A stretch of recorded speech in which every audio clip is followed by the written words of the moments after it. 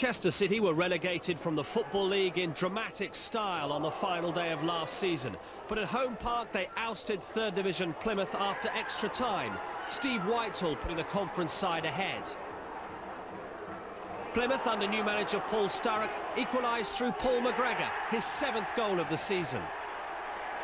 But there was to be no happy ending for the home side. Martin Lancaster's pass to Scott Ruscoe set Chester up for a home tie with Oxford United in the second round.